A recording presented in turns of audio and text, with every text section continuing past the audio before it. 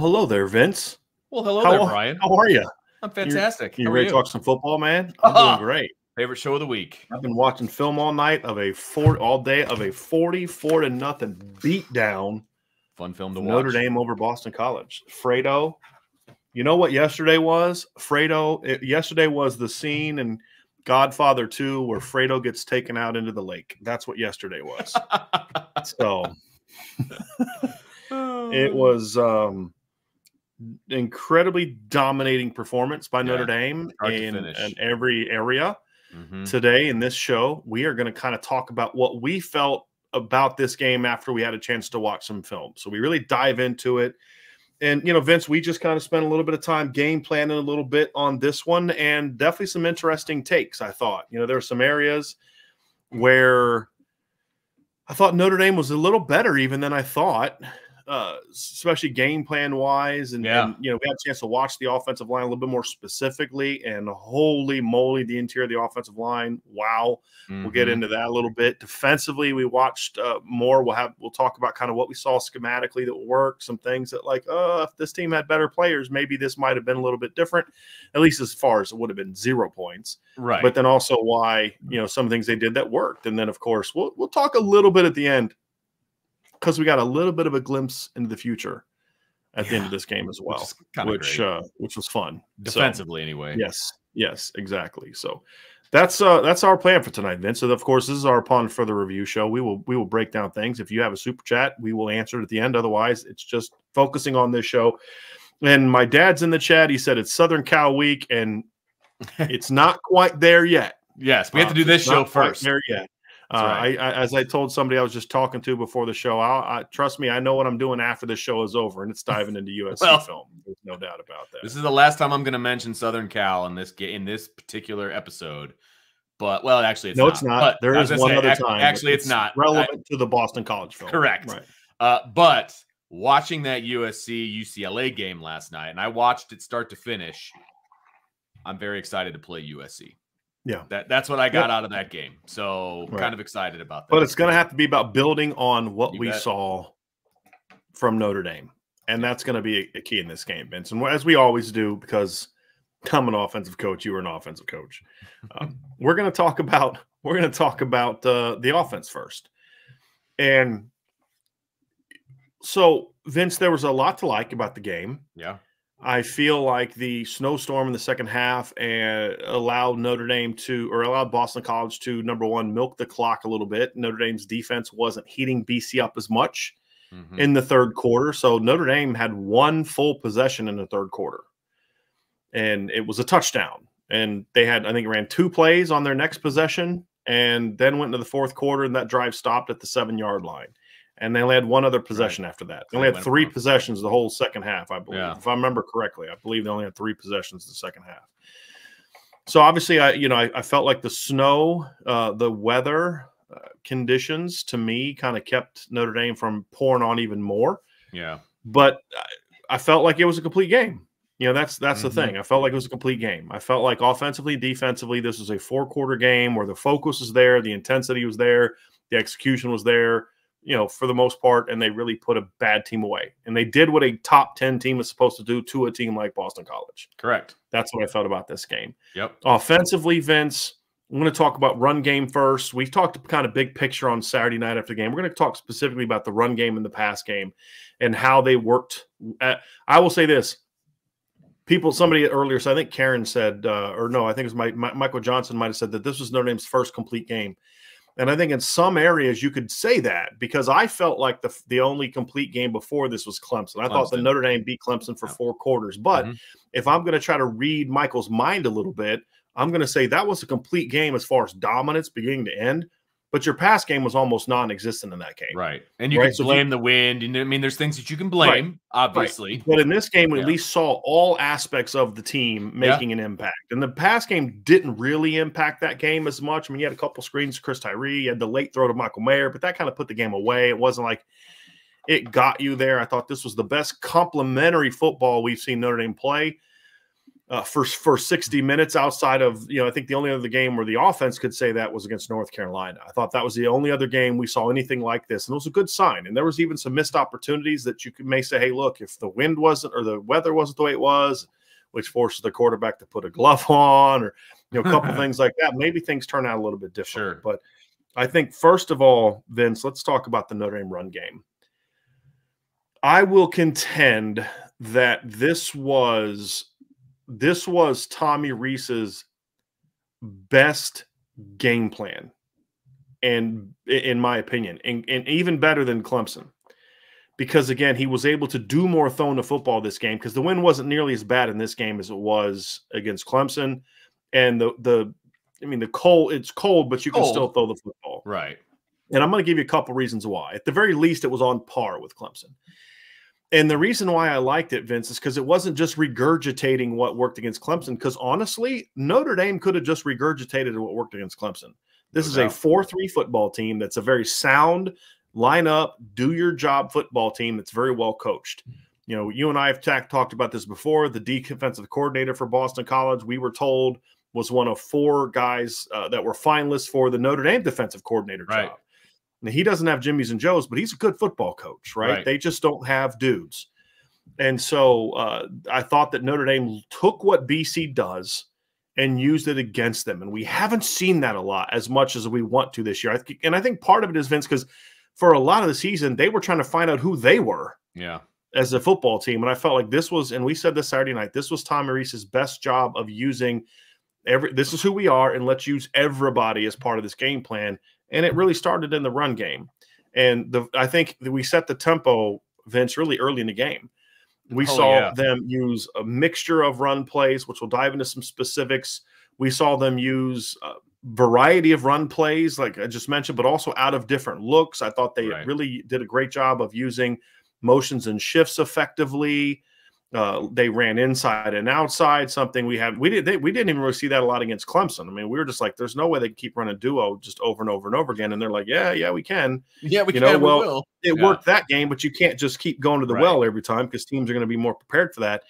And we've always one of the things you and I have often complained about is, man, you're like, you got to know what the team is going to be doing to stop you and, and exactly. go in with a game plan to beat it. And I thought this was the best job of yes. Tommy Rees anticipating what BC was going to try to do and then go after it. And I think that's a really, really good point and one that I want to stress, right? Because we knew that Boston College was going to be ready for duo, right? Because they actually watched Notre Dame's film. They saw what Notre Dame was good at running the ball, and they lined up to stop it. Pretty smart, dude.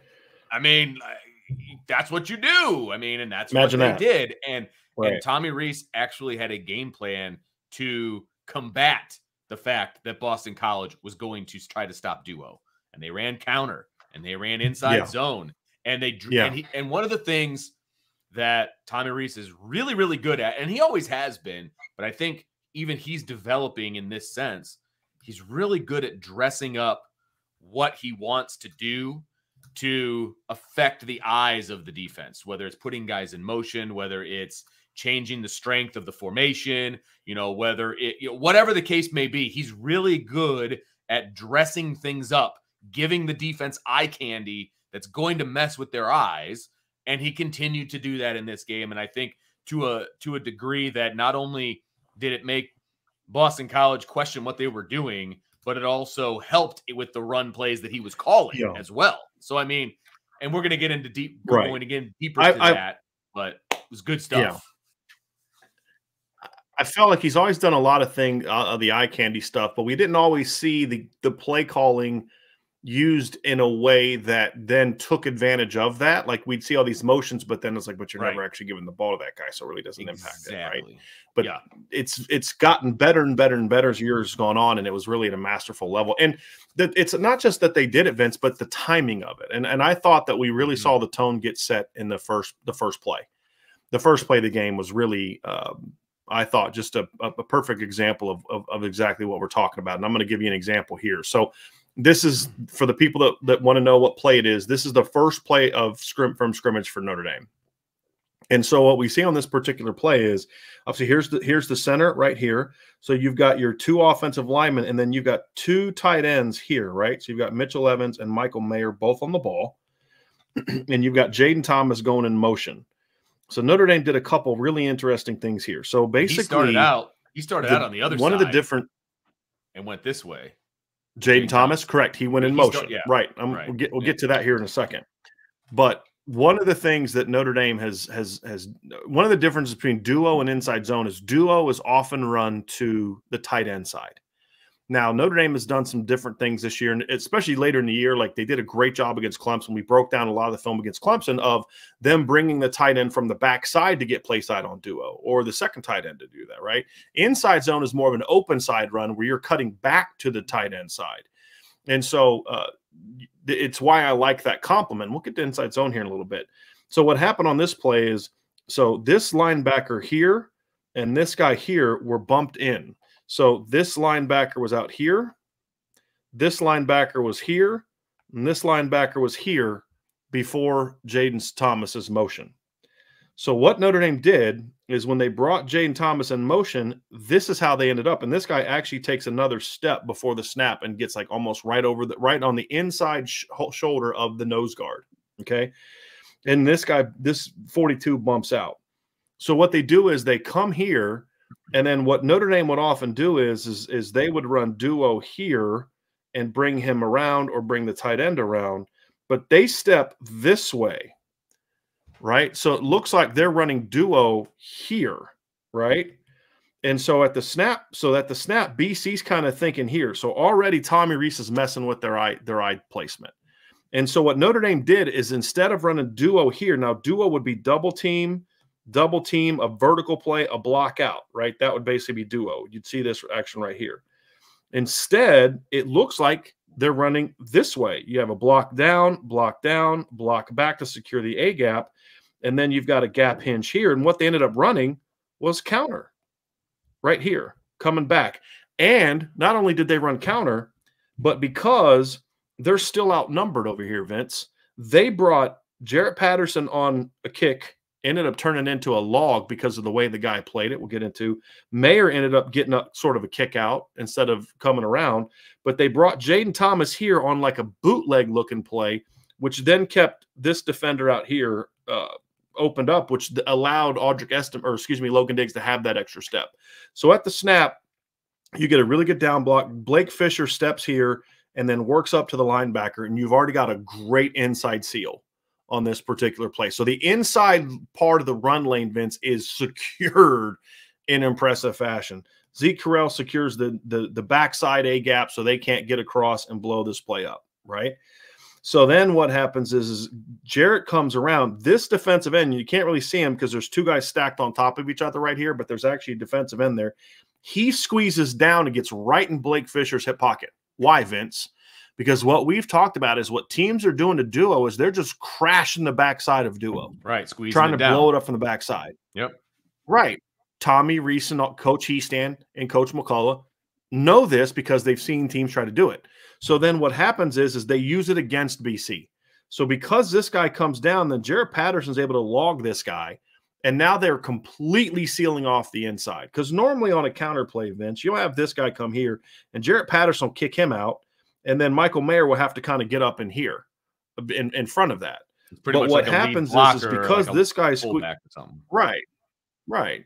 Right. So this guy squeezes down. So Jarrett's able to lock because what you're taught is if this guy's inside, then you get to work as outside. And then Michael Mayer's got to read that block and get outside. So this guy comes and and what happens here is this guy blitzes off the edge. Again, teams are trying to crash the backside. This guy goes high, completely takes himself out of the play. Now, what Notre Dame was trying to do was take him out of the play with Jayden Thomas. So if he wouldn't have crashed, he would have had to work outside with Jayden Thomas because that because of the, the bootleg action, right? So he they get the down blocks here. This guy gets logged. Mayer gets around and gets a really nice second level block. And then because of Jayden Thomas here, this safety can't come downhill as hard. So the final thing that teams do against Notre Dame is this safety crashes hard, right? When they see run play, that guy crashes hard. because of the counter action, he wasn't able to get down as hard, Vince. But also, this action by Jayden Thomas, he has to kind of prepare for that, protect against that, because he would have to, him or him or him would have to take the bootleg. One of those guys is going to have to handle the bootleg, right?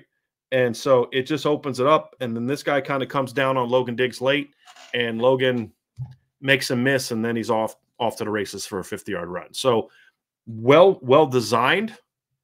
I loved that it was the first play of the game. It was sending a message to to to uh, BC on the first play, like you think you know what we're doing, but we're not. We're not. We got something completely different for you today.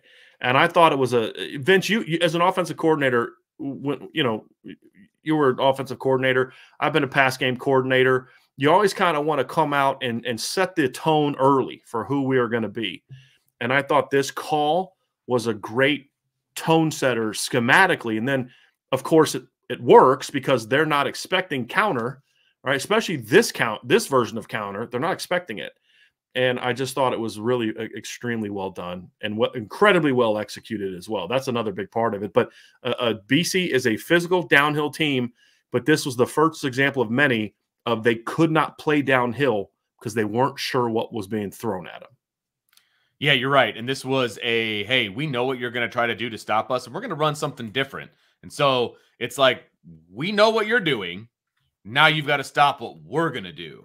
And that is something that we haven't seen up to this point. It was just, hey, we're going to run what we run, and you can try to stop it, and you may be able to stop it, but we're going to do what we do.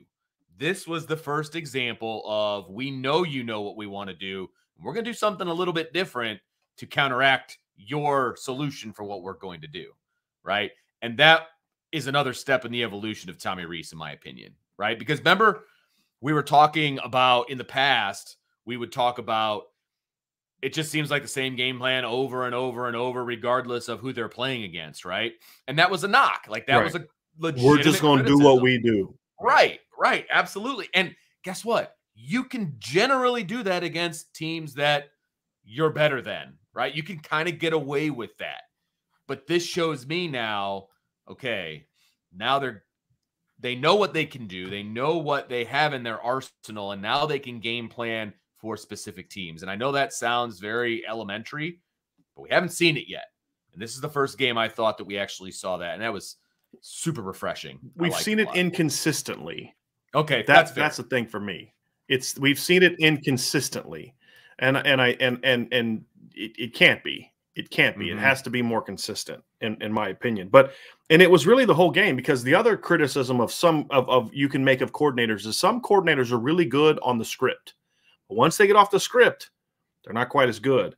And I thought that that's been a criticism lobbied against Coach Rees in the past at times by us sometimes as well. That I thought was good because I really felt like we saw this extended throughout the entire game. And to me, it shows continued growth of a 30 year old offensive coordinator just he's going to you know hopefully he's going to get keep getting better and better and better. And and so we saw it early but we then get into the second quarter and we saw some of this too vince and i'm going to give another example of one of the things that i really liked in this game. And again notice the first two plays we're about to draw up are both big gains. Neither one of them were duo so here's what happened on this play good point pre-snap both tight ends were over here right and so what? And then Lorenzo Styles was out here. He was over there. He was outside. So they line up and they motion the two tight ends over. And then Lorenzo comes on a jet motion and then stops and spins and goes back this way. Right. So BC is thinking, what, Vince? First of all, look at all this. The ball's about to be snapped, and look at all this. Look at everybody's looking around. Do you see their eyes? This I took this uh, clip right before the snap. Lorenzo's going to plant and go this way, right? So this look at all look at the eyes of the BC players. They're thinking, they're talking, they're not. So these guys are both looking this way, and what happens is is they're thinking duo's coming. Well, duo wasn't coming, and so at the snap, Notre Dame's running inside zone. So they're going to block inside. They're all stepping here, stepping here, stepping here. That's supposed to be the tackle. Michael Mayer is coming backside here to secure the edge. And then Lorenzo Styles is going on a jet motion that way. And what they're trying to do, it's another example of they're trying to mess with the eye discipline of the BC team. I believe, and I and I forgot to write this guy down in my notes, but I believe this guy went with Lorenzo.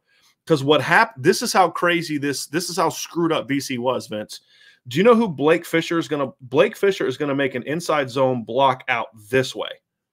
Do you know who he blocks out that way? Based on the pre-snap look, you'd think it would be him, right? Absolutely. It was him. It's the Mike linebacker. like normally, how inside zone will work is you'll get a double team here, and then Blake's going to step inside. And if this nose tackle slants out, then Blake and and Jer- Josh Lugg are going to work on a double team up to the Mike backer, right? Or if this guy stays here, then Blake will just kind of work up to the second level and take him, block him down. Mayer's going to come back and get here, and then hopefully Lorenzo can take care of that guy. That's the hope. Well, what happens here is they were so jacked up by Lorenzo going one way and immediately going the other way because they had just got done communicating this way and they go that way. This guy ends up working out here and Blake ends up sealing him outside. And Josh Lugg and Zeke Correll destroyed that. Oh, kid. yeah. I mean, and, and it was all game long, Vince. They just destroyed that kid. My wife took a picture of a block where Joe Alt is blocking number 93, I think, and his back is bent like, and you're like, that's when you know you've dominated it. When you can arch his back, you know you've dominated. And we saw that several times in this game, Vince. But so what happens is, is Audric steps here, and you're thinking duo, duo, duo is usually a play side hitting play, right? But what happens is, is BC's kind of guy step here. This guy's worried about that.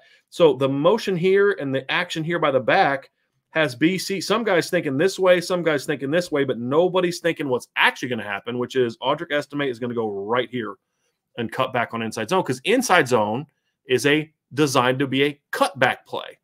Duo is a is norm. I mean, it can cut back. We've seen a cut back, but it's normally designed to be a vertical bounce type of play, right, Vince? Am I correct on that? It's a vertical insertion that will bounce more than it'll cut back. It can cut back, but because there's hard double vertical double teams, it's a little harder to wind this thing back than inside zone. Because inside zone, Vince, everybody's in theory step stepping play side. So you're going to get a, a slow swipe. The duo is more of a downhill vertical play, right? And so you're not going to get the same lateral motion that you get with inside zone. That's why I love duo and inside zone being complements to each other, not right. one over the other. Right. And when we've seen Coach Rees mix up inside zone and duo like he did against Clemson and like he did against Boston College, this run game is really hard to stop, Vince. Really hard to stop. So they hit this. I mean, and it cuts. And and Logan's like, if he just he could have maybe tried to make the safety miss, but he thought, nah, I'm gonna choose punishment instead, and just ran the guy over. And and you, you know, you look at it, Vince, and you're thinking, man, like they just again, this is a this is a well coached football team that just didn't have an answer. And and I'm going to look up. I believe this was low. This was Audric's longest run of the game. I think this one went for 17. Yeah. Yes, it went. No, it went for 12. I thought it went for a little bit longer, but this is a second 10 run that goes for 12 yards, and and it was an easy 12, an easy 12. And so that's just another example, Vince, of of the manner in which they really just kept BC on their toes with basic run plays and it was um it was fun to watch. It really was. It really was. Well, and that's the thing about. The I got a couple other things, Vince. I was just going to say, keep going. Yeah, yeah. Going, that, that's the thing about complimentary run plays because you run one thing and then okay, we're ready for it, we're going for it, and then you run something else that's complementary that looks the same off the off the snap, but it's different, and the the back is taking a different path, and and it's just slightly different, but it's slightly different enough that when you have a really good back and you have a really good offensive line, it's going to make a huge difference in what you're able to gain. And so I can tell you right now that when the next opponent is watching this film, they're going to have to play it more straight up. They're not going to be able to cheat thinking that it's duo or thinking that it's inside zone because if they do that, they're going to get gashed in a negative way for them and a positive way for Notre Dame. They're going to have to play it more straight up. And that again gives Notre Dame an advantage because they're going to be ready to roll with that, right? Mm-hmm. And so it, it just it makes you just that much more tentative now. If you're the next opponent, you have to be ready for both. And you can take a chance and you can try to cheat thinking it's one thing or the other. But if you do that and you're wrong, that that's where Notre Dame just eats, right? And so it, it's going to be very interesting to see how USC plays their hand defensively against this Notre Dame run game because it's not just one thing over and over and over. And I know you want to talk about the way that they were actually getting outside too. I don't know if that's where you're headed with this, but you know, a little bit, yeah, another wrinkle, yeah, a little another bit. wrinkle. But no, to your yeah. point though, Vince, I, I think that's a very important part because you can crash it thinking, hey, we're going to guess duo here, and if you guess right, you're going to blow it up. Right. If you guess wrong, and they're running counter or inside zone, it's off to the races. Right. And and that's where BC was. BC was on it put BC on their heels combined with right. the pass game. Right. And that's where you talked about earlier. The fact that they came out early and I think threw on what three of their first five plays was like, hey, we're, we're going to throw the ball the way they were using the backs. So we're getting outside. BC was on their heels. Here, here's and and you know, we talked about the Jets and the motions and all that. BC was on their heels all game, and and they, that doesn't happen in a lot. When they get beat this year, like Clemson did, they got beat by Clemson because Clemson just had better players. But if you look at that game, Vince, early in the game, it wasn't it wasn't a rout early in the game. I mean, Clemson pulled away late because they just have better guys. But it wasn't a game where you know you come out and it was like Notre Dame was. I mean, Notre Dame had more points at the end of the first quarter or first half than Clemson had the whole game. The Clemson BC game, Vince, was 10 to 3 at halftime and 17 to 3 at the end of the third quarter. Clemson right. scored twice in the fourth quarter to put that game away. No, Notre Dame had more points after a quarter than Clemson had after three quarters because, again, it was their defense was sound. They were in good position, and it had to be about just Clemson being better than them. And Notre Dame is better than them. But Notre Dame was able to pile on them so early because they did some things schematically that BC just had no answers for. And and their defense helped them out by giving them some short fields. That helped as well. But then Notre Dame Absolutely. capitalized on that. Benjamin Morrison picks off the quarterback, and so what do they do, Vince? They put it into the end zone and instead of it being six nothing because you settled for a field goal. Bam, you punch that sucker into the end zone, and now all of a sudden it's ten to nothing. And I think that was the key to the game. And there was a couple other things that I saw in this game that I liked, Vince. And I'm gonna I'm gonna go over my favorite sequence of the game. Okay. One of the things that I've been critical of of Coach Rees at times in the past is sometimes like something will work and you just don't see it again or maybe there's just not a i see this go right to it and and real quick vince i think because i have the uh the the the thing worked up sometimes i'm behind i'm lacking behind so i think a little bit you and i are a little off so just to prepare people if vince has a delayed response to something that's the reason why and this happens sometimes when we connect the whiteboard to to it. So just so people understand, like, why did Vince just ram go, yeah, in the middle of Brian talking because he's not here and he's a little he's a little behind. so I, why are you yelling at me? So I just want people to understand that's what's going on sometimes. So uh, there was a sequence in the first quarter, and I'm let's just draw it up, let's bring it up. So this is Vince all right, what what do you see here, Vince? What's the what's the first thing that I'm going to love about this personnel grouping? What are you going to see here? Now that we got two backs. 21 is it 21? 3. Oh yeah, there you go. It's I can't 31. tell who that is. Okay, yeah, because this is Chris Tyree. Yeah, that's Chris Tyree. Yep. Okay. So Notre Dame comes out in 31 personnel. Tyree goes in motion, and they ran a jet sweep. So on this particular play, you've got Mayer and then you've got Audric Estime, sort of the lead blockers on the jet sweep play. They come back to it. Now, what happened on this play is BC overplayed it. So the way that BC attacked it is they they kind of just like they just flew out and they ended up getting Notre Dame outnumbered. They had four guys to Notre Dame's three on the outside. Okay, they got us, but that's no, they didn't get them the very next play i'm let me let me just pull up my notes here because i want to i want to make sure i check this because i think this uh let me just get this real quick. I want to pull up the uh, play sheet here real fast. Did i just x out of that? That was dumb of me. Give me one second vince. I got to pull the the play sheet back up. I don't know why i xed out of that. That was really dumb by me yeah see this is what happens okay so on this particular play this is first quarter this is the uh, going to set up a big play. So I want to get you guys all squared away so you can kind of go look and see the sequence of events because I know some of y'all like to like to look at, at uh, these particular plays. I believe is this if, if I've got yep. this right. Yep. Yep. Because the next yeah. play, they gain two yards. The next play is the play to Deion Colzie. Yep. Yep, yep, exactly. The throw to Deion Colzie. Yep. so right I'm just gonna just trying to give me one second, everybody. I'm gonna pull this thing up here real fast. And where did it go? trying to find the Boston College game. Okay. So Vince, this is this is second. This is the second quarter. Do you have the time of when this play happened on there? I, I don't. I do for some not, reason it's no. not pulling up for me. I don't. It's going to be okay. So the defensive series started at 10:04. They went three and out, so it's probably going to be around eight minutes, maybe seven, eight in that neighborhood. Okay.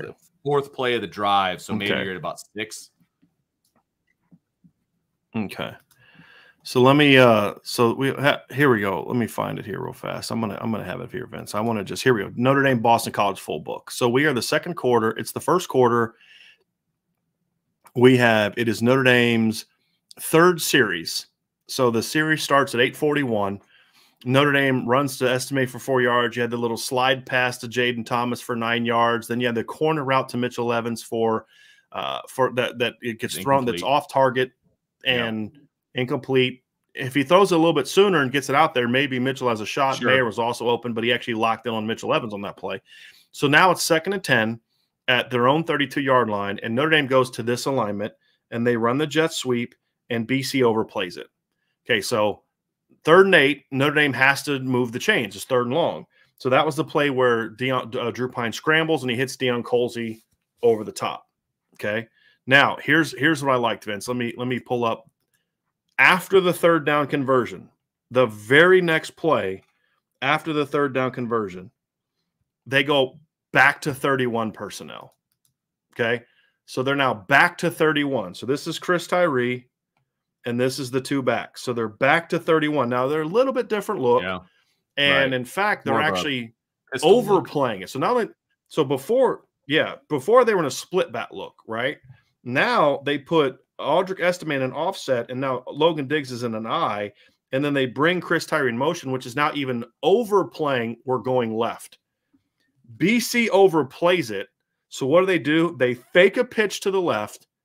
Drew Pyne drops back, and what they did here, this is the play where I'm trying to remember what uh, Deion Colzie, I think he ran a go route or a post route. I think I have to go back and look at that. But then Mayer comes on a crossing route. And then Lo- Logan Diggs kind of comes out and then goes here and beats this guy up the field. He gets this guy thinking I'm going out and beats him up the field. And this is the play where he steps up and hits it over the top. Drew is patient with it. This was my favorite sequence of events of the game because he saw it reminded me of 2020 Georgia Tech when if you remember that play down there where they ran a they ran Tyree and Kyren in the game together. They ran a stretch play and Tyree smoked a reverse and Georgia Tech didn't react to it at all. So he just came right back to the reverse on the very next play and went for 20 yards. We he couldn't go right back to it because they had third and eight to convert. But I love that he saw it and said, "Okay, they're not they're overplaying the jet sweep. They they know when Chris is going to do this. So what have we always said? Man, sometimes use him as a decoy, right? Get him in the game, get him the ball, then use him as a decoy, and that's exactly what they did. Logan goes here. Drew shows great patience and gets the ball out into that open window because because Logan just put a great move on that kid and just beat him up the field. But I love this sequence of events, Vince, because it was like, okay, you want to do this? I got something for you, but I'm not going to wait till you go to the sideline and get a chance to talk about our 31 personnel and prepare for our 31 personnel. I'm coming right back at you because Absolutely. we just moved the chains on th- for third and eight.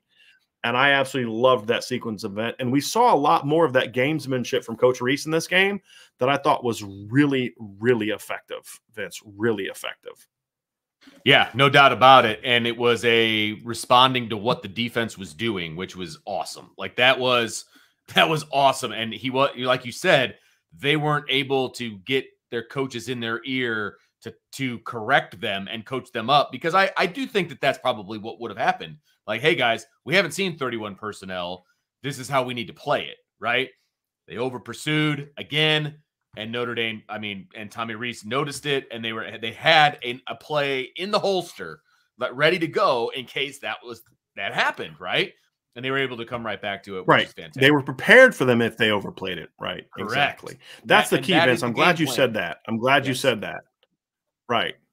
You didn't just draw it up in the dirt in one play. You knew right. if they do this, we're coming right back to it. And I, I, I thought it was good. There's a, another little wrinkle that we saw in this game too, Vince, that that was a little bit different from Notre Dame that I thought was a little bit of a tendency breaker from Notre Dame, and it was a key third down play. And I'm going to pull that up now. And it was actually on that play, Drew Pyne made it one of his best throws of the game. We're going to talk about it. And then we're going to talk about later in the game when he tried to go back to it, but shouldn't have. This is a third and I think this is a third and six play. This was in the first quarter, and it was a pass to Michael Mayer. I'm going to find exactly when it was. I believe this was on their third series. It was a pass play to, oh no, second. Is it their second series or their fourth series? Let me find here real quick. It is the fourth series. It was the very next series after the play that we just looked at. So Notre Dame, it is the second to last play of the second of the first quarter. It is a third and five at the Notre Dame five. 25 yep. yard line. So late first quarter. So Notre Dame had uh, just ran a pass for Chris Tyree for, to one yard, or minus one yard. And then uh, that was the little bootleg where Drew threw it too long and Chris kind of had to reach out and he kind of stumbled and got tackled. The next play, they come back with an inside run. Audric Estime gets six. So you're now facing third and five. I believe Notre Dame called a timeout on this play and then came back out. So Notre Dame went with a bunch look to the left. This is what we call a bunch look. They're tight down to the line of scrimmage. Vince, what is Notre Dame? Notre Dame's tendency out of this look is normally to do stuff over the middle, correct? Something like this, crossers. some yeah. kind of high low, right? You know, this guy may go low to kind of get him. They they do a lot of that. Okay. What they did here, however, is they went away from their normal tendency. So this is Mayer here. Okay, that's Michael Mayer. So what happened here is this guy ran a wide go route. So you take the cornerback with him. And then Mayer basically has a, a, a route, a win against one of whoever's going to guard him here. He gets outside and he's running a deep out. And then what they did here is they brought Lorenzo Styles on a really fast cross. So this is the flood concept I was talking about before the game. And that you kind of you get a high, a medium, and a low. And so what it does here is it it it it forces them into sort of a, a it's a tough situation, right? So this guy has to help out over top. They run one of those guys off, and then Mayer's in an, in an, in a one on one, and he beats his guy. And Drew Pyne throws it a second late, but it was an accurate throw. It's about a 15 to 20 yard outcut by the time he threw it. Perfectly thrown ball to move the chains on third and five. But if you're going to go back and watch this play, I want you to watch this play and then watch the next play they're going to draw up, which is basically the same play, right? On this play, Drew Pyne gets his drop and he pretty much stays back. The pressure never gets to him, and he just throws the ball out to Michael Mayer for a great ball. Great ball. I mean, this was one of the best balls he's ever thrown. Wins the one on one, and it's moved the chains.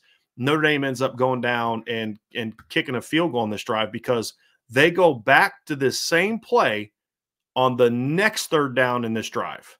Okay. And I want to break that down to kind of talk about an area where I think Drew Pyne has to get better and and why when we talk about Drew Pyne and people say, well, that's just that's just who he is. I say, no, I don't agree with that because we see the opposite of it at times. And this play is a perfect example of it. So this play made the right read, got the ball out to Mayer, and everything was, you know, hunky dory. Works out great. Okay. So then we we see that play again later, Vince, of the on the same drive. Notre Dame goes back to that same play. Okay. And so what happens here, and I'm gonna I'm gonna pull this up here real fast. This is the end of that same play. Now Notre Dame actually gets to this play out of a true trips look. Okay. It's the same play for Mayer, right? So what happens here is you have a post, you have a post from this guy, from the outside guy, and then a wheel. And then Mayer was number three, and he runs that same outcut. Okay. It's the same route. But what happens is, is now look how close Chris Tyree is to the line of scrimmage when he makes, or excuse me, the uh, Drew Pyne is to the line of scrimmage when he makes this play. And this is when Drew gets in trouble. People say he gets the ball batted down because he's short. Sometimes, maybe, but that's not the problem. It's not the shortness. It's the fact that when he is right and he stays back in the pocket and throws the ball, people don't bat it down. When he gets to his drop and then creeps back up is when he gets into problems. And this is a perfect example. And on this particular play, he's locked in on Mayer.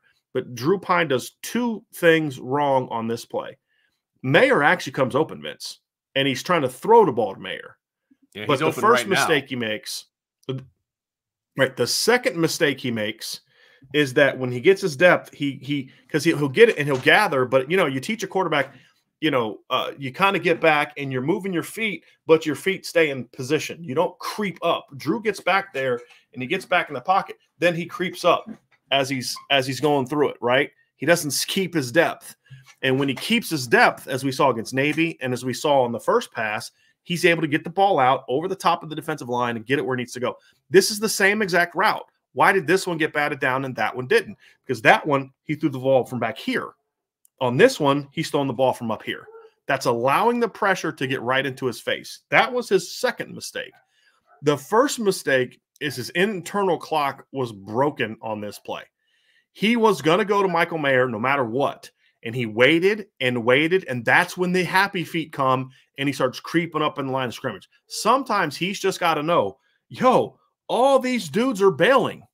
Yeah, Mayer may come open, but I got this 4 3 cat over here that I can just dump this ball off to.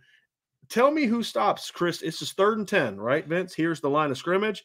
Here's the marker. This guy's on Mayer. This guy has his back turned to Chris Tyree. This guy's running deep on a post route. Who is going to cover Chris Tyree if you just throw a little quick screen swing pass to him? Who's going to cover him? The answer is maybe that guy. You know, you know, I mean, somebody coming off the sideline to tackle him, right? But it's not happening. These mm-hmm. are the these are the areas where Drew has to continue to get better. So he has two chances to complete a pass here. He could have thrown the ball to Mayer.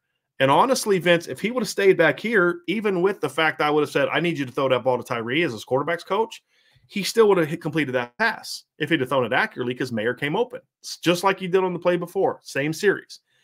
But instead, he creeps up, ball gets batted down, and that was that compounded a previous mistake of not getting the ball out to Chris Tyree on the swing. We have seen that a lot from Notre from Notre Dame in recent games. We saw it against Navy, we saw it against Clemson. We've seen it a lot where uh, the guys out there we saw against Stanford, running backs are out there with not a soul within 10, 15 yards of them. You only got to check that thing down twice before teams got to start playing you differently. And so that was the that was the first mistake that I thought he made in this play, Vince. And it's just an example of this is not a Drew Pyne doesn't have enough talent situation because literally on the same drive on third and five, he hit this exact same pass. It wasn't a physical problem from from a talent standpoint. It was a get out of your head, stop rushing through things because when you lock in on Mayer, you tend to kind of panic a little bit, right? Stay back in your drop, let the play develop, and go to it. And that's a, a, a, uh, the key. And that's why when we talk about Vince, why we say this isn't a situation where, oh, this is just who Drew is. He doesn't have the ability. He's not good enough, all that other kind of stuff. This is a situation where Drew's got to start making better decisions. And if he can start making better decisions, then guess what? He's going to have more success. And I think that sequence of events right there was a perfect example of the issue. And I would I would encourage people to go back and look at the first play, which is late in the first quarter, and then look at the second play, which is early in the third uh, second quarter, and it's the same drive. And instead of getting a touchdown to go up 24 7, you got to settle for a field goal to make it 20 to 7. That didn't hurt you against Boston College, right? Just like only getting a field goal on your first drive didn't hurt you against Boston College, but it may hurt you against USC. It may hurt you if you get into a big bowl against a, a better opponent. And those are things that Drew has to continue to learn and evolve and get better at. And if he can start making some of those plays and and you know keep your technique consistent, that's the biggest thing, Vince, is just a lack of consistency from Drew. The tools are there for him to make all the throws that Tom Rees called on Saturday. It's just the consistency of his process and the consistency of his technique are the things that keep him from making more of those throws. Now, look, we didn't talk a lot about Drew Pyne in the game yesterday, right in the post game show. And I'll say this Drew had too many misses in the game, right? For your offense to really be, per, you know, sure. really running on full cylinders. You had that play right there. You know, you had a you had a miss on a on a couple play throws. Or, I mean, or he has Salerno open. He, he maybe scores on that play. He have Lorenzo Styles open. He waits too long to throw the ball to Lorenzo, and he tries to throw a glove on, and I don't know where the ball went. And uh, because remember, somebody said we are in the press box. Somebody said, "Where's he trying to throw it? Does he know where he's trying to throw the ball?" Like, no, we know who where he's trying to throw the ball. He just couldn't do it because he's like trying to cup it because he wasn't comfortable yeah. throwing with the glove on. It was, it, yeah, it and you can see his, whole, his motion whole motion got jacked up. Wrong, yeah, yeah. And so these are the things, Vince, where he's got to start hitting just a couple more of these passes. I thought you nailed it when you said like just the way they use the pass game to complement the run the the the the uh, run game with jet sweeps, with the perimeter throws, with the using the running backs out of the backfield, getting Michael Mayer involved, getting Mitchell Evans involved. Hey, look, it was an incomplete pass, but you just set a tone to say, hey, look, we will throw to Mitchell Evans if you don't play it, right? And you and we didn't hit this one, but you better not bank that we're not going to hit the next one. I thought that was good, and if Drew just could have hit like three more passes. The check down to Tyree. You know, he had a play. Uh, I'm trying to remember just a couple more. There's a couple more like crossers that were there. There was the throw to Mitchell Evans, and he hit that a little bit one. earlier. I yeah. think he can hit that corner. Yeah, I thought that was one. Just a couple of those throws, and all of a sudden, teams well, like, now what do we do? How the yeah. heck do you defend this team now? That's right. the key.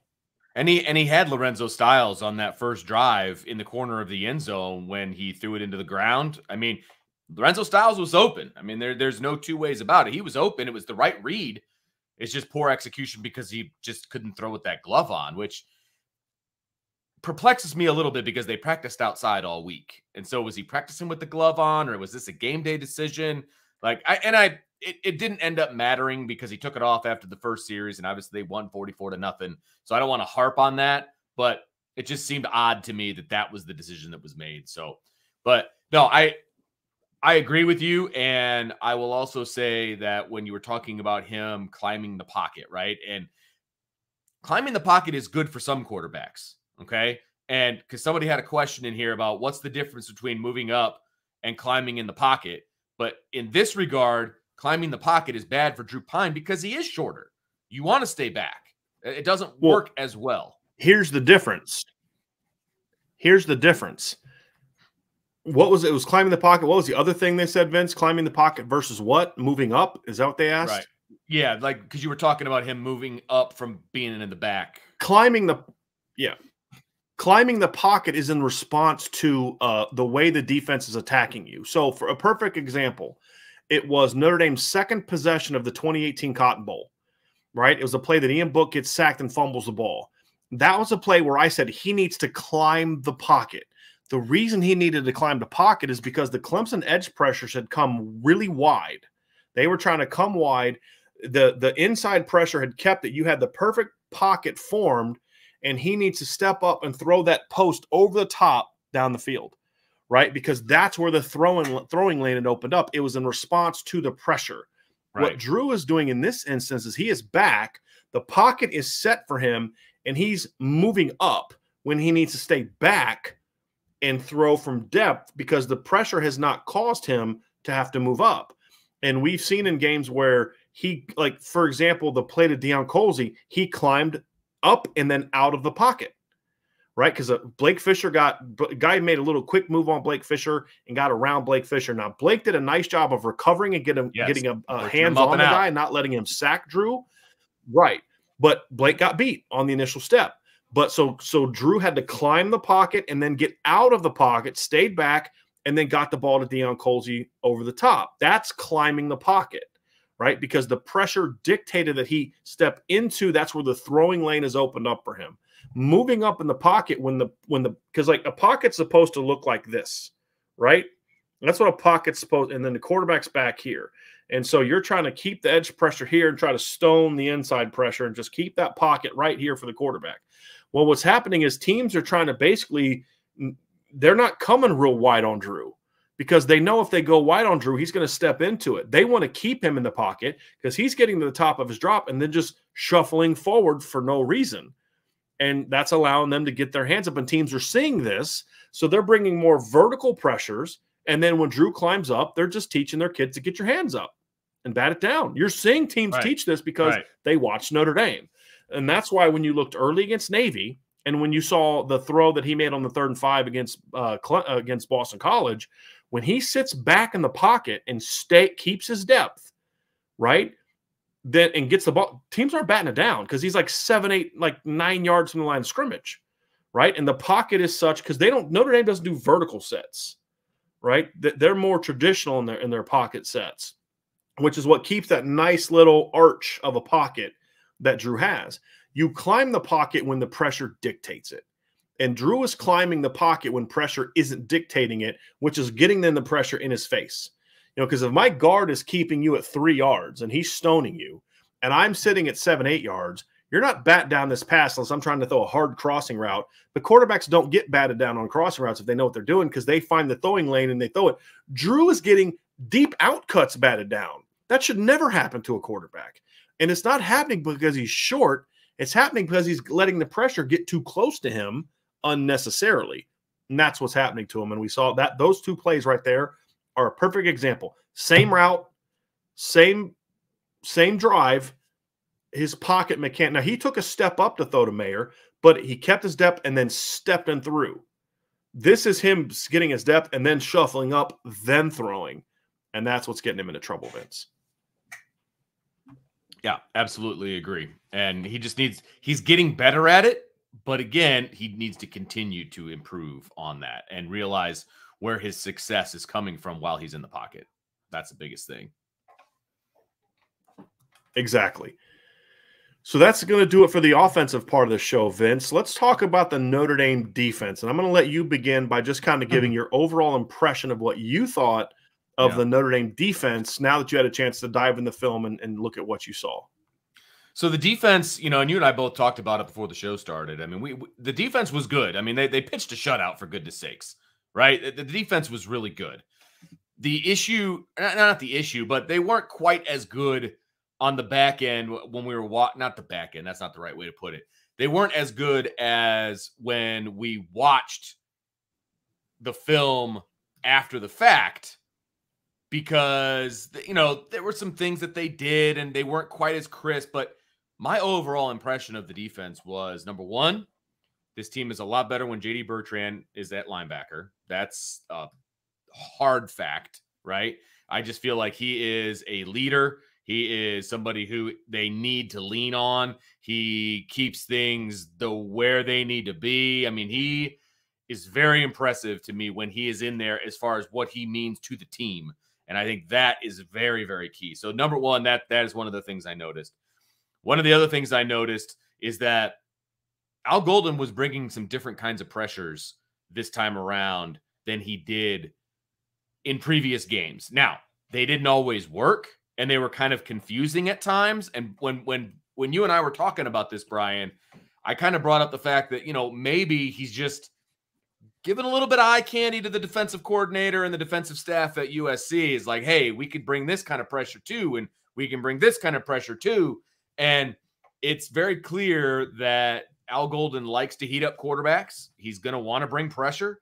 He's going to mm-hmm. want to do things that are going to keep the quarterback unbalanced. And that's fantastic. That's what you want to see from me personally. I don't let, especially going into next week, you do not want to let the offense dictate to you what you're doing. You can't just sit back and let a good offense, like what they're going to see, you cannot sit back and let them dictate and then you respond. You are going to have to bring the pressure. You're going to have to dictate some of it as much as you possibly can from a defensive standpoint. You're going to have to do that if you want to be successful, right? And so I did like a lot of that. Now, again, it, some of it didn't hit home and some of it didn't, you know, wasn't the best maybe in that situation, but I just felt like he was adding some things to the game plan to give you USC a little bit more to game plan against, which I really liked. Secondary wise, you know, I don't know how deep you want me to get into here, but I thought for the third game Go in for a row, it, man, what you want to say? the third third game in a row, the the corners played excellent. They played absolutely excellent, not only in coverage, but also in tackling in open space. And they're going to have to have a fourth game in a row if they want to beat this offense that they're going to play because they want to get you in space. They want to do things to you. They want to manipulate you in space because they have better athletes than the vast majority of the teams that they play. I think it's not necessarily the case against Notre Dame. And if they come out and they do what they've done for the past three games, starting at Clemson, because what was Clemson's game plan? Get it outside, get our athletes in space because Notre Dame can't tackle in space. Well, Notre Dame did. They did very well against Navy because where Navy hurt Notre Dame was not on the outside, right? They hurt they hurt Notre Dame up up the middle, and then they did a really good job of it this week. Uh, you know, against BC, they were open field tackling Zay Flowers. They they tried to get him the ball in space with the now screen, things of that nature. I was so great tackling. this game. Great tackling by Cam Hart. Obviously, Benjamin Morrison did a good job. I mean, three interceptions clearly clearly he played a really really good game we can talk about him more specifically but i just thought the outside was if that's going to be usc's game plan is get the ball outside awesome i feel very confident about what the corners are able to do i'm just trying to get a check here vince to see if we're a little bit back more back on track now that i disconnected are we a little bit yes, closer or I, am i still ahead of you your audio matches your mouth at least visually which was okay. the case before for me. Okay, I st- I still think I'm a I think still think I'm a little ahead of you, but we'll we'll, we'll figure this okay. out. But I I think the perimeter stuff, Vince, was so key in this game. Yeah, so yes. key in this game. We're actually now back on now because you're actually responding to what I'm saying, so this is a good thing. So, um, okay. Uh, but uh, I thought if here's what I thought was my big takeaway from this game: Al Golden has supreme confidence in Mike Mickens and his cornerbacks. Absolutely. Because he basically said, We're going to let you cover Zay Flowers. And there's a couple times they, one of the takeaways for me was there was several times Zay Flowers was kind of open, you know, where if you got a Caleb Williams or a CJ Stroud back there, he can throw that ball out and get it out there. Even a couple times when the pressure wasn't there. But two things about it. Number one is the, the coverage was still good enough to where you had to throw a perfect pass to complete it. And once Emmett Morehead did, and they got a 39 yard gain. Yeah, he couldn't right. on other throws. And then a lot of other times because the pressure was getting to him, even you know, even the even the pressures that didn't get home, he was rattled by it. Even when he wasn't exactly. getting hit, he stepped into pressures because he was rattled by what they were saying. Now, my response to that is be Caleb Williams isn't going to be rattled by that. He's just going to step up and run or throw or do whatever, oh, right? Oh, so you you got to hit home against yes. a better team, and that's kind of where I felt like my takeaway was I didn't actually think the defense dominated the way the score looked. Right, a goose egg, it, and yeah, know, like crossed half field or midfield a couple times. It felt yeah, like, and know? like once was yeah. really late in the game. Yeah, yeah. And and what I mean by that is like they were like, oh my gosh, they were just overwhelming Boston College and just playing phenomenal. And they, it's just BC really stinks, and Notre Dame had a couple guys play real well, but for the most part, they just played really sound yes. football. Sound and solid. And so it may come across as a bit of an insult, but it's really not because we haven't seen them consistently play sound football for 60 minutes. The only time that BC had any success, there's two plays that I thought BC had success in this game, really had success. One was the great throw, the 39 yard bomb to Zay Flowers. And honestly, no that was just that sometimes, Vince, as a coach, you've got to be willing to do stuff where you say, eh, this kid could beat us if he makes a great ball. And you just tip your cap and say, that receiver's really good and that kid threw a great pass. Right. It happens. Yep. It's going to happen in every game you Tariq. I mean, it was, it's good coverage. It's good. I mean, right. It's I good mean, coverage. Yeah. You're facing a dude. And of course, Notre Dame picks it off. What, like the very next play, Benjamin Morrison has even better coverage and the ball's not perfect and it gets picked off. Sometimes that's going to happen. The other play was the one thing I didn't like about this game is the one third and eight where they've been heating this kid up all night. And then before the snap, it's very clear that they're dropping. And the kid sat in the pocket comfortably. The back fell down got up and still caught the ball on because they ran a screen. They were anticipating Notre Dame blitzing, so they ran like an angle screen.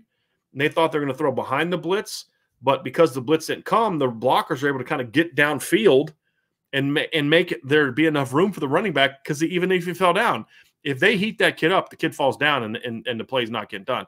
I didn't understand why they went away from that, to be completely honest with you. And there was another play later that they did a, an all drop that if there's a more athletic quarterback, like say, I don't know, Caleb Williams, Caleb Williams, that's a first down. Yeah. So there's some of that stuff I really this team, this is not a great drop eight team, in my opinion. Uh, so you know, that was part of it too. But I'll also say this too is is you look at it, everybody doing their job, you got to remember they were without one of their best defensive tackles. And Jason, well, excuse me, one of their best defensive tackle, one yeah, of their best defensive say, linemen. Yeah, right, right They were right. also without their, you know, best safety in Brandon Joseph. Correct. Correct. in the game. So I mean, you're down two starters and you still held this team to 117 yards of offense and zero points. And they they really only threatened you once, and you literally intercepted them the play after they got into the zone where they were threatening you. And that was that was a big part of it. So it wasn't like a dominant, like wow, like how they played against Clemson, where they just overwhelmed and swarmed Clemson. Wasn't that kind of game. It was a very disciplined, sound, tackle in space, do your job, cover that guy, do this, eat up the gaps. I thought early in the game, yeah. we saw them a little bit gap unsound, but BC just wasn't good enough to hurt them. But I thought they cleaned that up by middle of series two. They had kind of cleaned that up and they were they were back to being gap disciplined. But overall, I thought it was just a, a sound, solid game plan. We didn't see anything too exotic from Al Golden. The, and this is the one thing I said they blitzed a lot, but there wasn't anything too exotic where if you don't hit it, BC burns you. Right, right. And and I, I I thought he did a. I'll tell you one of the takeaways. I don't know if you talked about this when I was trying to get the the the, the situation fixed here with the the lag. I thought JD Bertrand. You mentioned how good he was. He was really good at getting underneath stuff. They like to throw the ball over the middle a lot. They like to throw crossers. They like to throw ins. They like to throw stuff to tight ends. JD did a great job of hunting for those routes and a couple times just blowing dudes up, right? There was one time where they were running across and he blew a dude up the saw the quarterback scrambling, they came off that and then tackled the quarterback scramble right. short of the first down and the third down. Yes, right. He was on and, point. I mean, he was yeah. on point, and it, it it almost it almost felt like the defensive uh, outcome of this game was very JD Bertrandish. It was workmanlike. It was solid. It wasn't overly impressive, you know, from a from a like a, a crazy you know, playmaking standpoint, if you don't count Benjamin Morrison's three interceptions. But it was just, hey, we're here to do a job. We're going to do it pretty well, and good luck, you know. And that's kind of what the defensive, it's what it felt like to me. You know, they, they, didn't make any big mistakes. Yeah, they made a few mistakes here and there, but they didn't make any big mistakes. And they played well when they needed to play well. I mean, Boston College had 81 yards of offense in the first half. 81 yards. And they possessed the ball a decent amount of time 80 pass yards, one rush yard. One. I, mean that that's that's playing pretty solid defense in the first half for Notre Dame. Solid. The interesting thing about that, Vince, you talk about how they they they BC ate up had the clock a decent amount, right? What was it? Was it overall, or are you talking about in the first half? Sorry, in the first half. Okay. I mean, it was part, like 18 right. 11, but it had the ball for 11 right. minutes and they only had 81 yards. I mean, right. Part, part of that was because Notre Dame was kind of scoring quick because of the short fields. But to your point, I mean, it was a very inefficient game for Boston College, and it was a forced inefficient game because the holes to get the ball out to were very tight. And and I thought that was a a really key to this game is they knew this kid's going to get the ball out quickly inside. They're going to throw quick to the perimeter, deep, and then over the middle. The deep they the deep in the perimeter. They said, look, our guy, our corners are either going to be good enough or they're not, and we're going to trust them that they're going to be good enough, and they were. And then over the middle was, I thought, again, it was a good job of, of getting pressure right up the middle, partly off just guys doing well. Riley Mills had a couple really nice pressures. Howard Cross had several really nice pressures. I thought Chris Smith had a couple uh, pocket collapses. We saw Gabriel Rubio have one late, you know, in, in the game where he was able to get a, a, really nice pressure up the middle. That helped as well because I didn't think the edge pressure was great in this game. Yeah, it was okay, but it wasn't great. I mean, you had Isaiah had the one sack, Ademilola had the uh, one sack in the second half, but it wasn't a consistent pressure. Up the middle, they were getting consistent pressure, yeah. and then of course the linebackers doing a great job of hunting for routes, and that's going to be mm-hmm. important against USC because absolutely USC is going to look, USC is going to mesh and high low the the mess out of Notre Dame, man. I mean, they're just they're going to do that a ton of that, and they're going to try to threaten the linebackers, yep. and they're going to have to they're going to have to handle it right. And so, overall, defensively, Vince, I thought it was a sound game. Yeah, it was it was aggressive, mm-hmm. but not out of control. Sound pressures.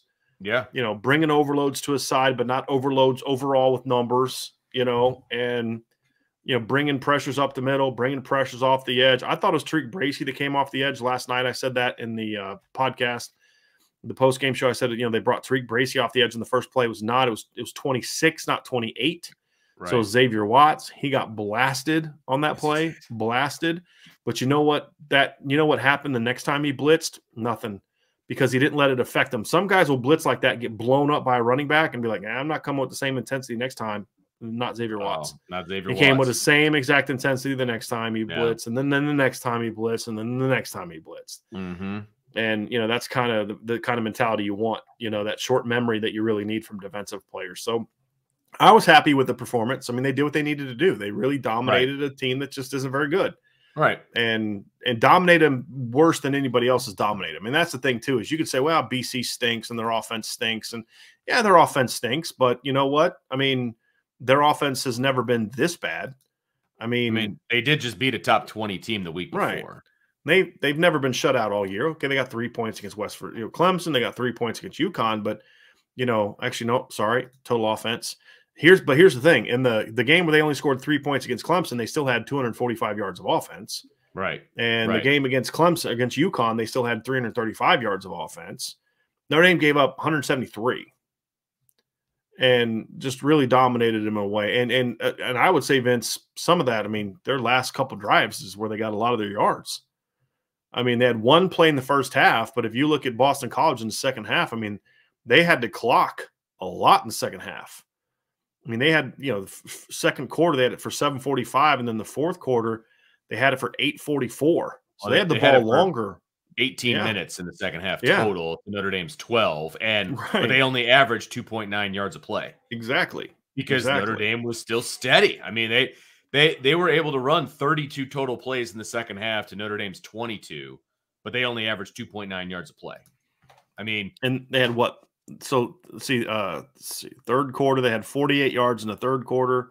The fourth quarter they had 44 yards. That can't be right. They had 48 no, that's right. third yeah. quarter, and they yeah, had that's 44 right. in the second. Yeah, the fourth, that's right. I mean. Yeah, yeah. 117 yeah, passing yards is what they had. I said earlier they had 117 oh. yards total yards. 117 passing yards is what they had. Yes. 173 total yards. Right. And that's a strong. And again, that, that the passing part of it's that's the thing that's really interesting because they did that to a team that is known for throwing football. I mean, right. before exactly. the game, I had to hear everyone, oh, you know, Emmett Morehead so much better than Phil Jurkovec, and look at what he's done the last two games. He threw for 330 yards against Duke, and he threw for 330 yards against NC State, and you know he's this and he's that. And threw for, yeah, 80. I mean, he I mean, threw for 117 the entire game, and 39 right. of that came on one pass. You know, so uh, it right. was a it was a good performance. I was yeah. very pleased. Anytime you can hold a team to three yards of play, uh, you're doing pretty good. So it's just nice to be in situations, Vince, where you can say our dudes are just better than your dudes, and there's not a darn thing you can do about it. We right. felt that in the perimeter. I mean, in the in the box for years. For sure, we haven't often felt that on the perimeter. Not especially not on both sides. Not, not on both since 2018. Sides, you know, not since 2018. Yeah. Right. Yeah. And, and even now then, it's just I feel like, more confident now than I even did back then. I, I, me, I'm talking for me. Yeah. I do. I feel more confident now.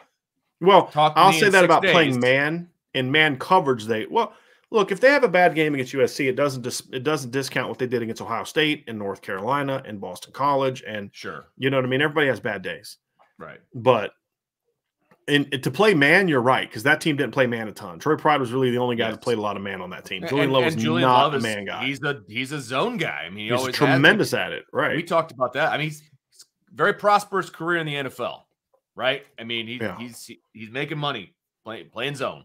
So yep, you know, yep.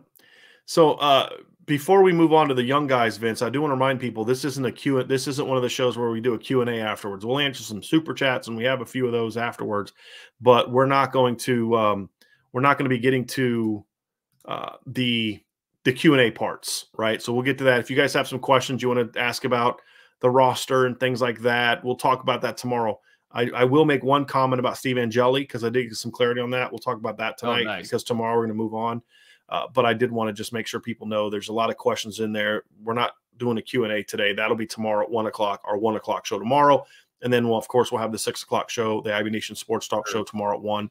And uh, then Tuesday, we'll have just two shows. We'll have the 1 o'clock show, the normal 1 o'clock show. And then the only PM show we're going to do is going to be for the playoff College thing. football playoff, yeah. Yep, so we'll do that one as well. So, Vince, any last thoughts about the defense before we answer these uh these super chats? You, you wanted to talk about Angeli, or you? I'm going to get to that when we get chat? to the okay. super chat part. We're going to wrap up no, the I, defensive part now. Look, how can you not be happy after a 44 to nothing win? I mean, it was it was dominating. It was great to see. It was I think a real step in the right direction for this program. And we talked about that a lot, you know, during the post game show. But even when you go back and you look at it on film, I, I, see the evolution of the offense. I can see it with my own two eyes, and that makes me very happy. And the defense continues to play well. I mean, they're going to have to continue to play well, obviously, moving forward.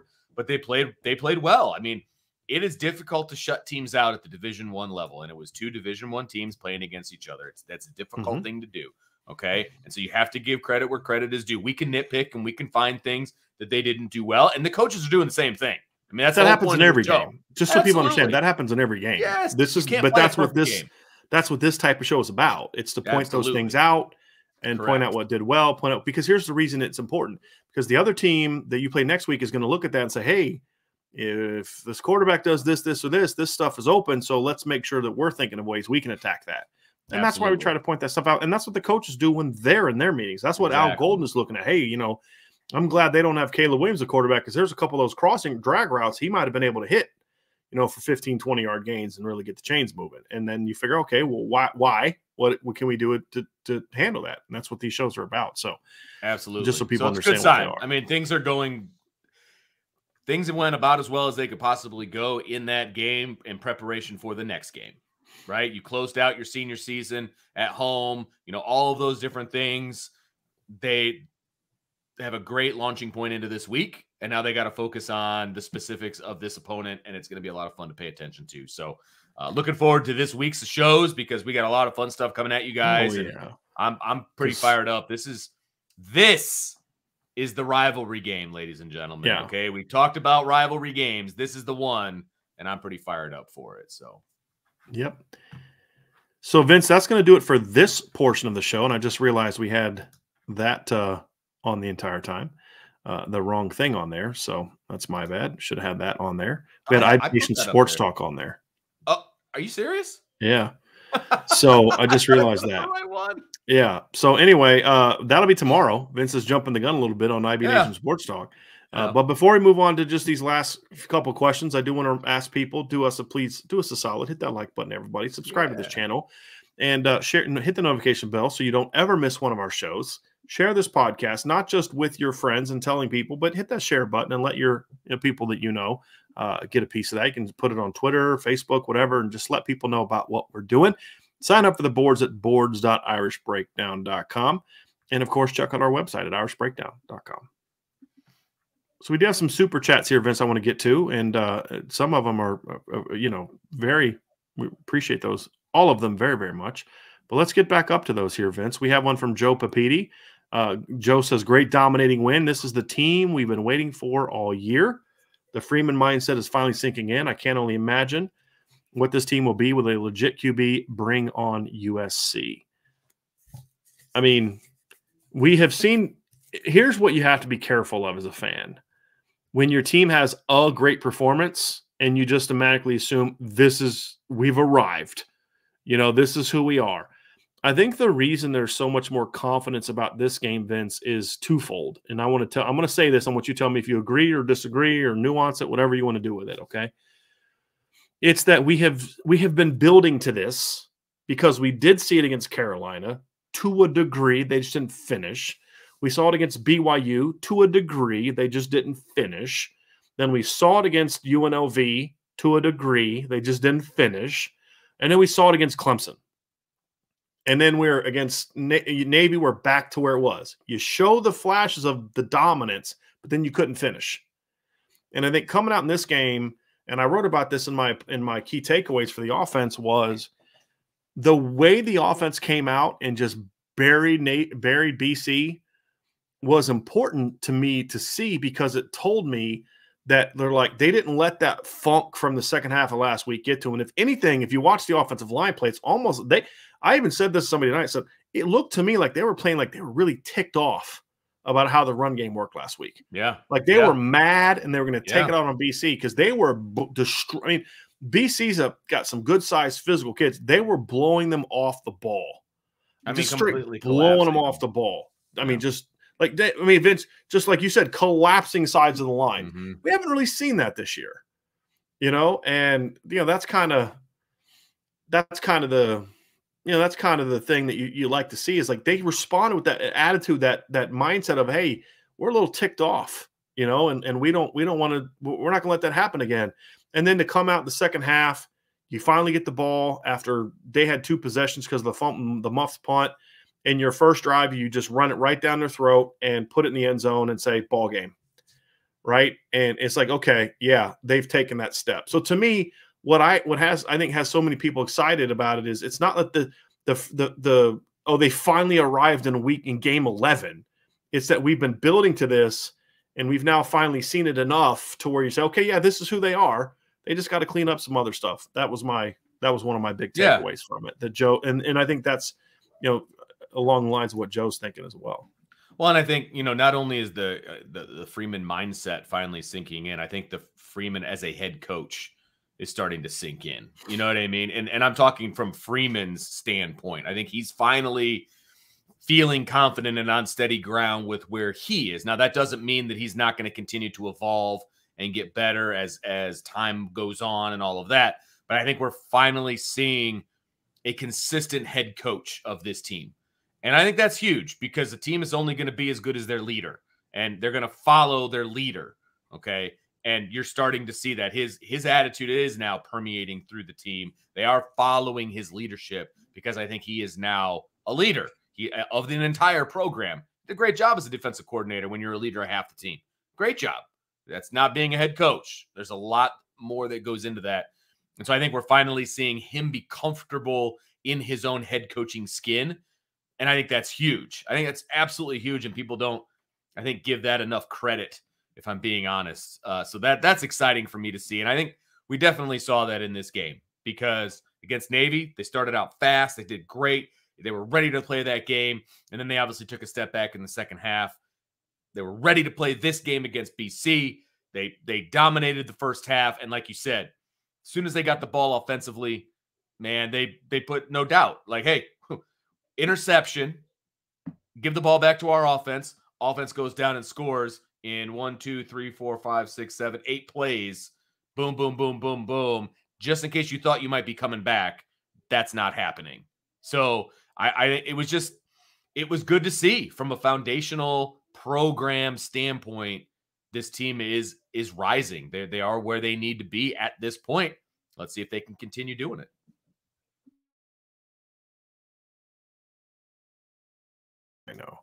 Next super chat is from Brand. Actually, no, I want to get to this question here from DC Irish.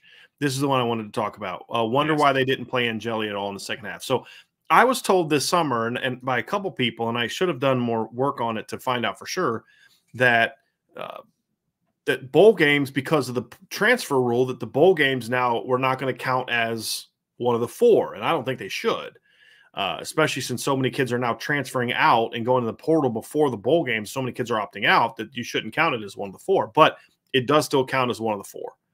So Steve Angeli's played in two games so far. He played against UNLV and he played against Syracuse. Yep. yep. And so if he would have played Saturday, and let's say something happened to, to Drew Pyne against USC, and they had to go to Steve Angeli against USC, and Drew Pyne's out. If you look at the bowl game, they have one or two options: play Angeli and burn his red shirt and try to get it back next year, or right, right. you play Ron Powlus the third. And I don't think they wanted to put him in that situation. Yeah. So because he's the backup quarterback, if something happens to Drew Pyne, they've got to go with him. It's not ideal, but that's why they are because they did force him into the game against Syracuse. Right. This is this is where they are where they are. Right. And I think that was a decision I, I, didn't quite understand. I mean, I, uh, you know, Coach Freeman made a choice. He made a call, and you know, it yeah. is what it is. But that's why they weren't able to play him. Right. And and you know, if something if something happened to Drew Pyne in this game, of course, Steve Angeli is coming in. But sure. it got to the point in that game where they only had what three possessions in the entire second half anyway. Yeah. Well, they weren't right? going to play him if they had seven possessions. No, no, no. I know, but yeah. like it, the way it even worked Made it out, easier. like you know, we got three possessions. It's not even worth, you know, it's a snowstorm. You're handing off anyway. You're not going to gain anything. We want to hold his, his red shirt. Nothing happened to Drew. He could go in and hand off during right. this, these last couple possessions. There it is. And Now you've got him. Now you've got you're guaranteeing him a red shirt for this year. And who knows, man? None of us have a crystal ball, but that may be important down the road. You don't know. Maybe mm-hmm. we'll see. So if you can do it, you want to make sure that you have that opportunity. Yep. Here we go. Next one from Brandon. Brandon, this is big, man. I really, really, really appreciate this very much. Awesome. This is awesome.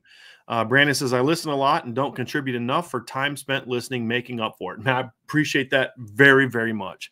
listening to Ben uh, Ben Morrison's post game, he reminds me of Tebow with his words, his personality.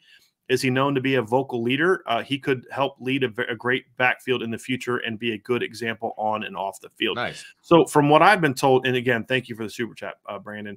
What I've been told is Benjamin's kind of a quiet kid, not shy, but just quiet.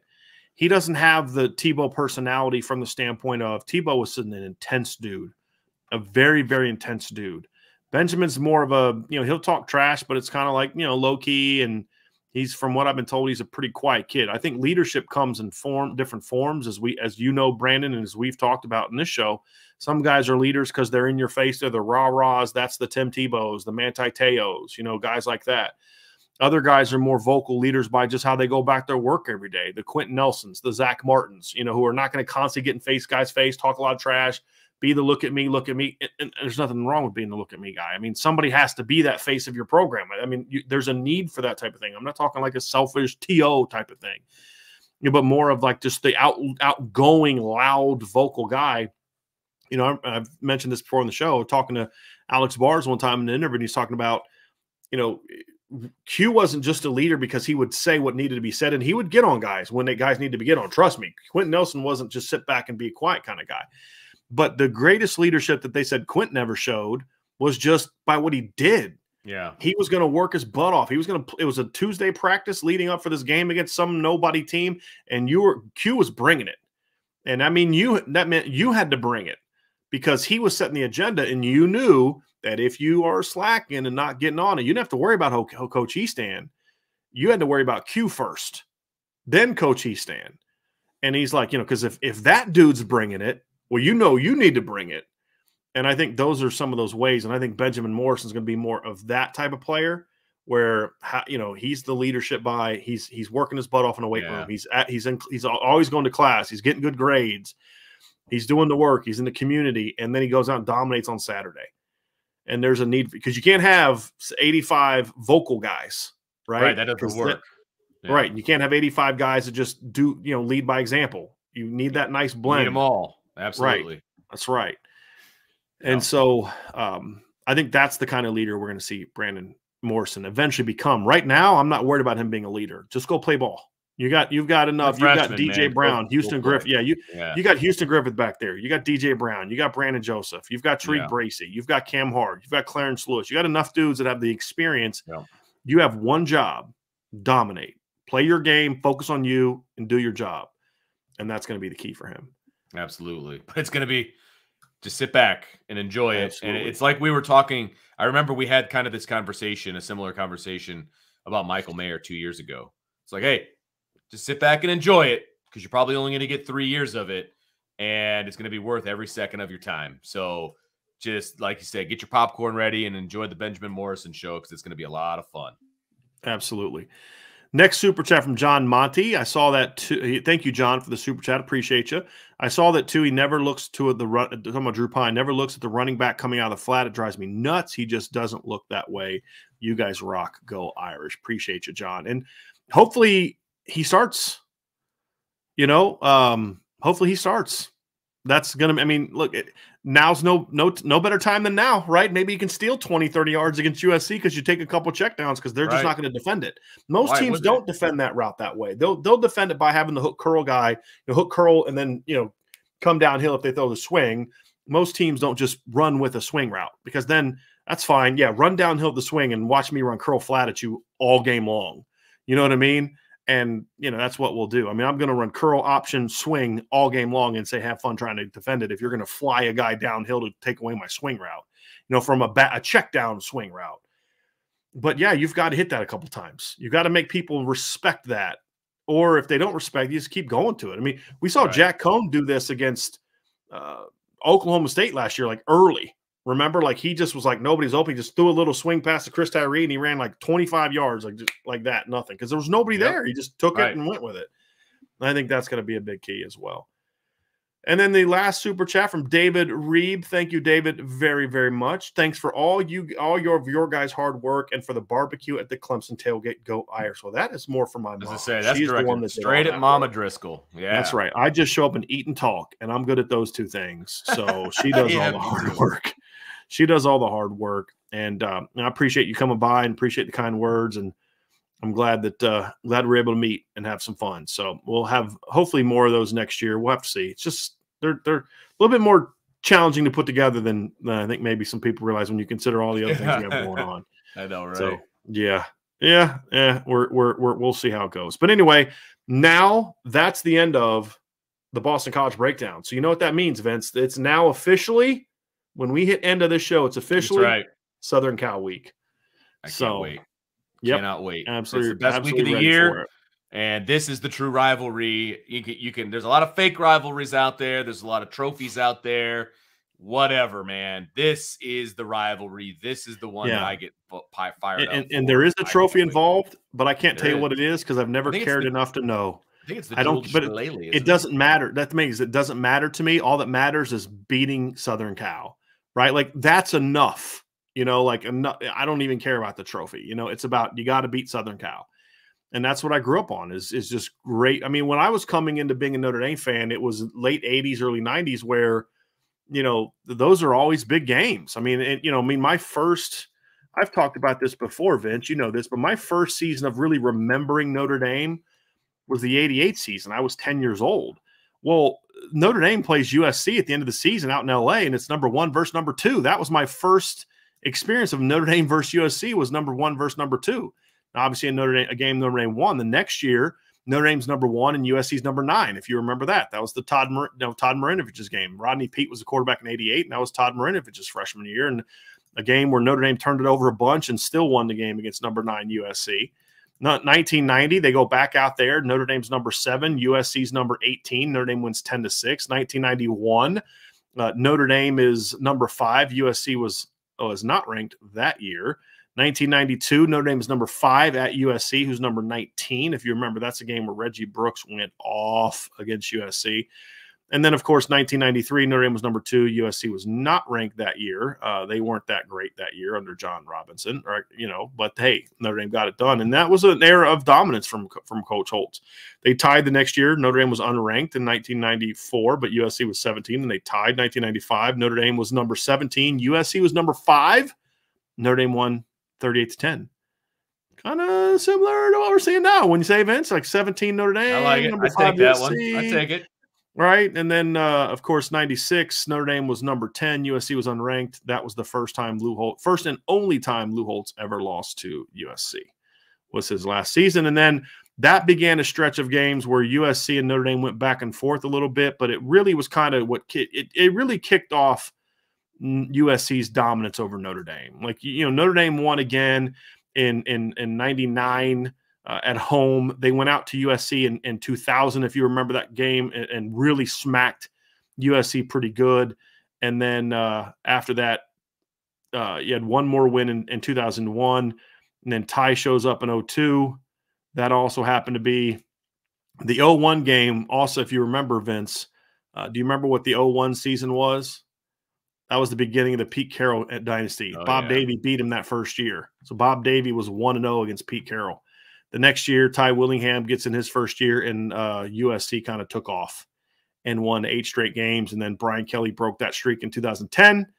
And now Notre Dame's kind of it was a little back and forth early on in Kelly's tenure. Notre Dame has dominated that stretch here in recent seasons, but obviously USC is a much better football team now than they were then. Uh, in my in much more talented team then. And, and I'm not a huge Lincoln Riley guy. I think he's a little bit overrated as head coach, but he's a very good, great offensive mind, and he's way better than Clay Helton. There's no doubt about that. So this is going to be a, a, fun, sure a fun USC week. fan would agree with us. SB with a super chat before we get out of here. He says, uh, from feeling as bad since uh, Ty Willingham th- through halftime of Cal to feeling like the ship was righted to the debacle that was Stanford to raging enthusiasm about next Saturday Notre Dame is making me a manic. Hey, look, that. I get it. But mm-hmm. hey, you mm-hmm. know what? That's what's so great about this game, right? It's just the emotion of it. But I, you know, I, I don't, I don't think that I, I don't know if I felt like the ship was righted against BYU because you could still see some of the, you could still see like, yeah, this team can really finish. But I, I have to say that the the U, the Stanford loss to me, Vince, was as as dejected as I had been in a very long time, very long time watching Notre Dame play and and even like you know because like miami in, in 2017 was a really bad loss and michigan in oh, 2019 yeah. was a pitiful loss and but at least you kind of felt like those were good teams.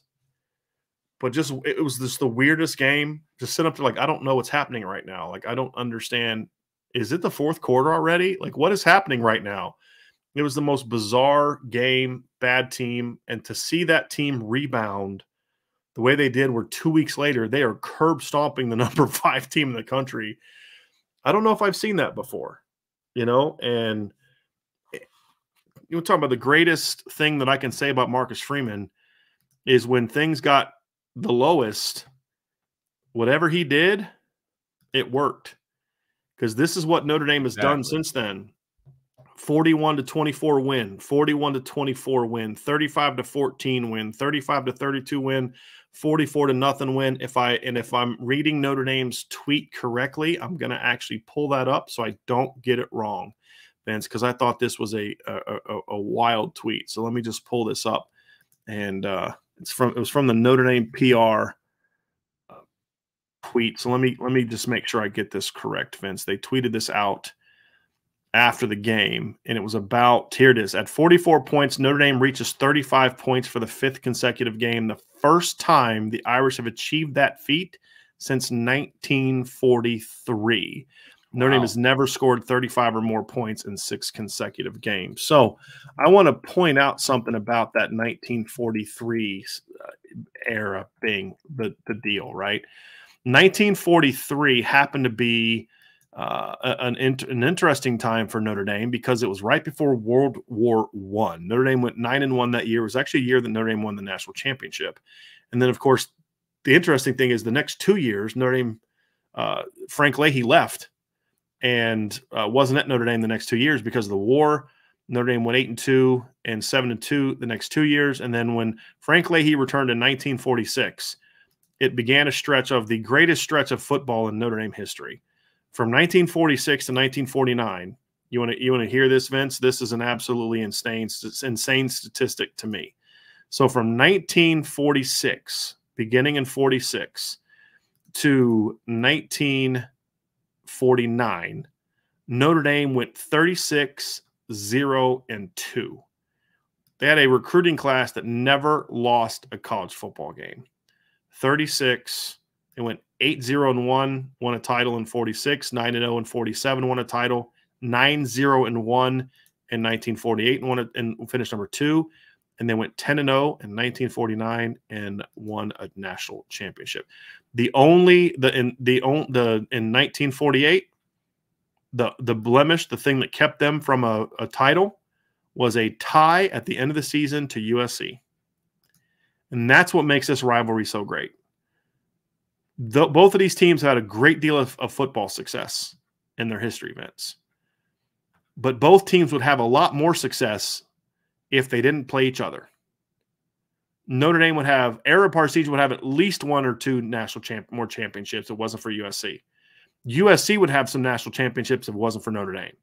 And I think that's the thing that makes this a great rivalry is that it's two programs steeped in great tradition that are polar opposites that for so many part from so much of our lives these games meant something and i'm going to be honest i i always want notre dame to beat usc usc is the one rival i don't root against because i want them to be good when they play notre dame because that's what makes this rivalry great it's like with michigan i want michigan to be 0 and whatever when notre dame plays them i, I want them to lose every single game what makes this rivalry great is when both of these teams are exactly what they are right now, which is two really darn good football teams.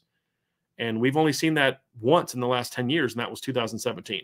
My hope is that this weekend looks a lot like that 2017 game in Notre Dame's favor, but we'll uh, we'll have to see about that. We'll have to see about that. So anyway, Vince, that's going to do it for this show. Uh, that's Vince Dodaro, everybody, my guy, my football analyst. I'm Bryan Driskell. Vince just had his first undefeated pick'em uh, of the year. Vince went 4 0 this weekend because he picked, uh, he was the only person of all the IB crew people that picked Oklahoma to beat Oklahoma State.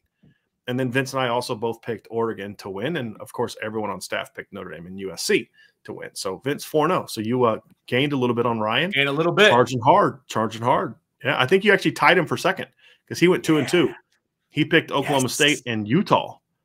We're so coming down to it too. You're tied for second. Yeah, Woo! tied for second. And you gained the game on me because I went three and one. I picked uh, Oklahoma State, so you gained a game on me as well. So well done, my friend. Well done. So every dog. Thanks everybody for being with us. Like, subscribe, notifications, bell, bet, board at boards.irishbreakdown.com. Five star reviews. We'd appreciate it. More importantly, stay safe. Have a great night, and we'll see you again soon on the Irish Breakdown Podcast.